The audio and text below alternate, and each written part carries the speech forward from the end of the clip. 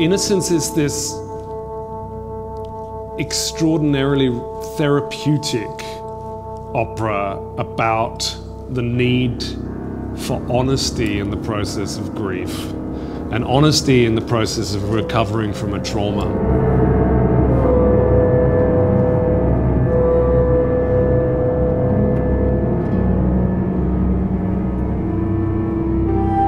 So it's this incredibly beautiful exploration of the scars that we carry with us and the need to sometimes reopen wounds to make sure that we can heal them properly a second time around. And it's heartbreaking, very humanistic, has a very positive, loving message about humanity.